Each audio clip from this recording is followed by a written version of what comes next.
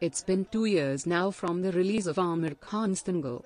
Though Aamir has given many hits but Dangal was a film that blew everyone's minds.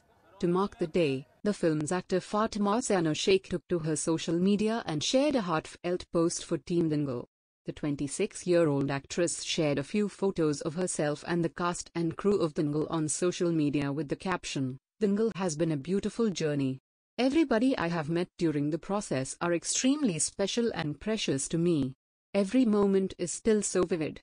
Love you guys so much.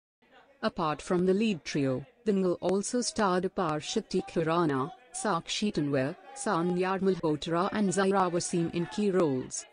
Dangal was co-produced by Aamir, his wife Kiran Rao and Siddharth Roy Kapoor.